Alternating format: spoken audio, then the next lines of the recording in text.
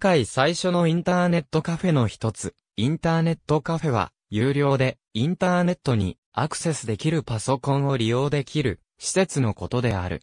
欧米では、サイバーカフェとも言い、日本では、ネットカフェ、ネカフェ、ネット喫茶等、様々な略称でも呼ばれる。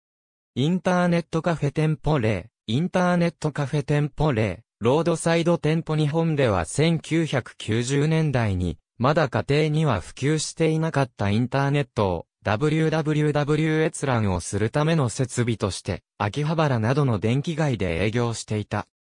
2001年以降から、パソコン本体価格の低価格化、導入の費用コストの低減、規制緩和による ADSL モデム売り切り制導入の開始、電気通信事業者のみ取り付け工事が許されていた、モデム取り付けが、個人による設置が可能になったことで、煩雑さが解消され、インターネット常時接続を低額料金で利用できる、環境が整い普及した。これらの要素により、漫画喫茶の付属設備の一つとして、インターネットが利用できるパソコンの導入が進められた。自宅にパソコンを所有しない、故障中などで使用できない、ネット常時接続環境を導入していない、旅行中や外出中で、個人用のパソコンが使えない、といった人々が気軽にネット環境が利用でき、オンラインゲーム対応パソコンの導入により従来の漫画喫茶の漫画単行本、雑誌と並ぶ集客のコンテンツとして人気が定着。新規ビジネスとして漫画とインターネットを複合化させたインターネットカフェのチェーン展開が多くの企業で行われた。消費者ニーズの高まりを受けて大都市を中心とした出店から地方都市への出店が加速し、インターネットカフェはアミューズメント施設として一般的に認知された存在となった。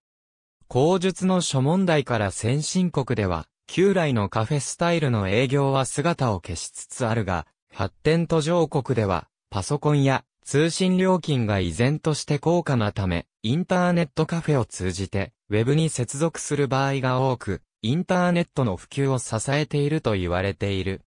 現在では、最貧国や強い言論統制が行われている国で、なければ、途上国の都市部には、多くのインターネットカフェが見られる。途上国のインターネットカフェの特徴として、IP 電話を利用した電話サービスを主要サービスとして掲げていることも多く、特に国際電話は格安で利用できるため、旅行者の利用価値も高い。ただし国によっては、多くの店舗が公然と営業していても、IP 電話は非合法の場合もある。韓国では PC 棒、台湾では網、中国では網と呼ばれており、韓国、中国、ベトナムなどでは若者によるネットゲームへの参加は、むしろ自宅などよりネットカフェで盛んである。北朝鮮にもネットカフェは存在するが、利用料金が高く、多くの一般市民が利用できないと言われている。長時間滞在する場合には、パック料金が適用されて割安となる店舗が多い。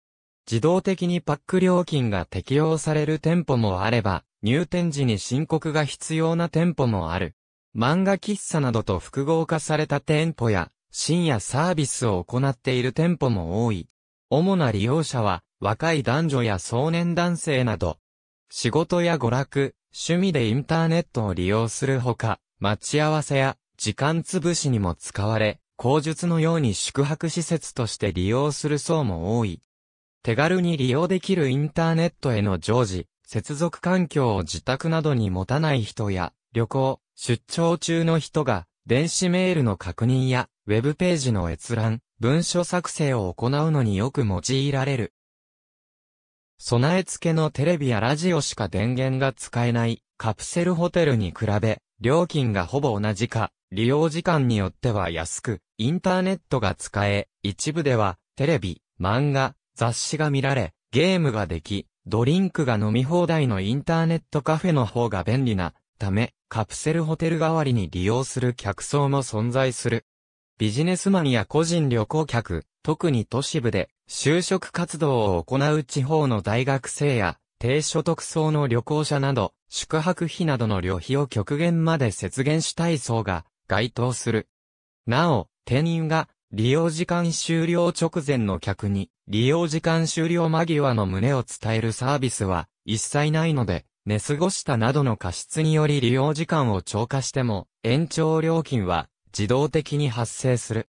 中には、いわゆるネットカフェ難民と呼ばれる半ば定住状態になっている日雇い労働者や、家出少年少女も利用するため、社会問題化している。また不特定多数が出入りする環境のため、不正アクセスやネット詐欺などの犯罪に利用されることもある。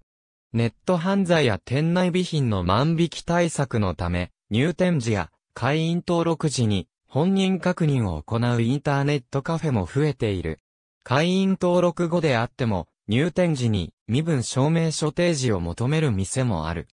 店によっては写真入りのものを要求するところもあれば、金融機関のキャッシュカードやクレジットカード、病院の診察券程度のものでも良いというところもある。この要求レベルは、主に条例の規制強度や、店舗の方針により左右され、公的身分証明書の提出が必須の地域や、店舗もある。使用する座席を指定できる。店側から指定される店と、座席を指定せずに空いているパソコンを自由に使用して、良いオープン席の店がある。禁煙席と喫煙席に分かれていることが多い。神奈川県では、受動喫煙防止条例が施行されたため、全室禁煙もしくは完全分煙となっている。店舗によっては、客席のランタン紙を利用客に開放したり、無線 LAN のアクセスポイントを設けたりして、利用客のノートパソコンや、携帯情報端末、携帯ゲーム機などの持ち込みに対応する事例がある。無線 LAN の場合は、店側が独自のアクセスポイントを設置する場合と、店が特定の公衆無線 LAN サービスと契約して、アクセスポイントを設置する場合がある。地方からの就活生に対しては、業界団体がビジネスチャンスとして対応を強化することを検討している。主なフロア客席の一例一般的な個室席の様子風俗営業等の規制及び業務の適正化等に関する法律により、面積5平方メートル以下の個室席を設置する場合は、都道府県公安委員会への届け出が義務、付けられている。一般的なオープン席の様子盗難犯罪店舗の構造上、資格が多く、置き引きや盗難が発生することもある。盗難の被害に対して、店に保証、賠償の責務はない。インターネットカフェチェーン店舗の受付カウンターなどには、注意事項として、貴重品類はすべて自己責任で管理すること等が掲示されている。パソコンのセキュリティ関連料金が前払いの場合は、使用した後そのまま退席しても構わないが、パソコンを再起動させて、使用履歴を消してから退席することが推奨される。2003年には、インターネットカフェのパソコンに不正にインストールされた、キーロガーにより、パソコンに入力したパスワードが漏洩する事件が発生するなどしたため、利用者に自由にソフトウェアのインストールや設定の変更をさせないために、ネットカフェのパソコンのアカウントの権限を標準ユーザーアカウントに変更することとなった。その後、再起動されると利用者がインストールしたソフトウェアやインターネット閲覧履歴等が消去される。ハードディスク初期設定復元ソフトウェアが開発され、インターネットカフェ各チェーンに急速に普及した。銀行や証券口座のネット取引やメールや ISP 等へアクセスするためのパスワード、クレジットカード情報など重要情報の入力は、インターネットカフェでの利用は、避けるか、やむを得ず利用する場合は、使用前には、パソコン再起動、使用後にも、再起動を実施することで、リスク回避になる。自宅のブロードバンドのように回線やプロバイダの契約が不要で、不特定多数が利用することから、後から利用者を特定することは難しいため、ネット詐欺などの犯罪行為に利用されたこともある。掲示板に個人や企業への誹謗中傷や犯罪予告を書き込むなどの問題も発生している。このため、掲示板サイトへの書き込みを店側が規制していたり、逆にサイト側から規制されていることもある。コンピュータウイルスの放流やメールボム、出す攻撃などの攻撃ソフトの利用などの可能性もあり、ファイル交換ソフトの利用で回線の帯域を占領されるケースもあるため、外部から持ち込まれたソフトウェアの使用が規制されることも多い。表現の自由を逸脱した誹謗中傷行為に対しては、携帯電話や自宅のパソコンだけではなく、インターネットカフェでの書き込みに対しても、名誉毀損罪での立件が検討されている。衛生面の不備衛生面についても一部の店舗において問題になっている。特に24時間営業型のインターネットカフェについては空気の総入れ替えのような大掛かりな掃除が難しいこと、ビルの一室といった閉鎖的空間に大量の人間が長時間滞在するという状況が加わることによってインフルエンザや結核といった感染症が蔓延する危険性が指摘されている。他者に由来するリスクへの不備火災や地震などの緊急事態や硫化水素自殺への対策が懸念される。店舗の構造上、共同トイレやシャワー室で火災が発生したり、硫化水素による自殺が行われた場合、一般客が巻き添えを食うばかりでなく、生活苦、貧困にさらされている、ネットカフェ難民化した常連客の自殺をも誘引する確率が高いという事情がある。大阪府では2006年から改正青少年健全育成条例が施行され、身分証明書を提示させたり会員制とする等によって未成年の深夜入店を禁止するという行政と警察の指導による規制強化が実施されている。東京都では2010年3月に身分証明書の提示、確認義務を定めたインターネット端末利用営業の規制に関する条例が成立、同年7月1日から施行され、身分証コピーの収集による規制が強化され、業界団体、日本複合カフェ協会の見解に同意する店舗において会員制を取る店が大半となってきている。日本複合カフェ協会では店舗運営ガイドラインに会員制度の採用の努力義務が盛り込まれている。そのため、同協会加盟で非会員制がほとんどだったメディアカフェポパイの9社が運営も2008年4月から一部の店舗を除き順次会員制に転換した。ただし、マイガランドやマンボウなどのように、非会員制、身分証明書提示不要を一貫して採用する店舗もある。